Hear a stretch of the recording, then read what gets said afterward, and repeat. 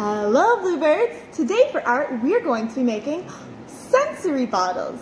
You should have in your packets some beautiful sparkles and some aqua beads. They look like this. They are very, very small and all sorts of different colors.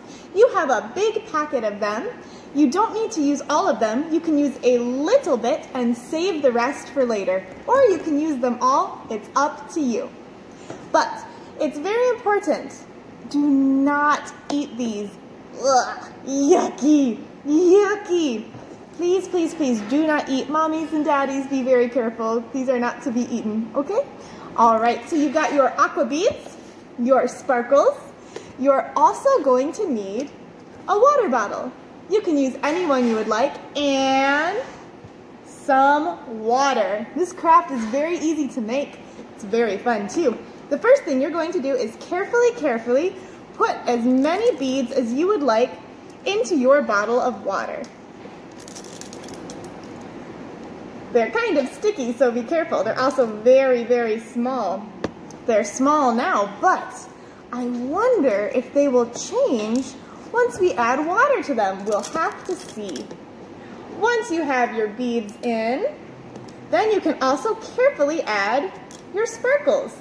I love sparkles, so I'm going to put so, so many sparkles into my sensory bottle. Do you like sparkles too? Okay, I'm going to put in my sparkles. Sometimes using a funnel can help you to put them all in without making a mess. Okay, they're all in there. The last thing I'm going to do is add some water. You can ask your mommies and daddies to carefully help you do this so you don't make a big mess. Okay. There we go. Almost. A little bit more water. See how slow and careful I am pouring the water. Okay. Almost finished and all done. Okay, here's my sensory bottle now. We can't really see the aqua beads, so I'm going to let it sit and check back and I'll show you how big they get. Hello again. So I've waited and this morning I have checked on my sensory bottle and oh, wow! Can you see how big the aqua beads got? They are so much bigger now.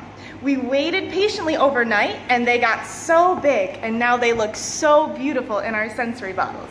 I hope you have lots of fun making your sensory bottles and can wait patiently and wait for the beads to get so big.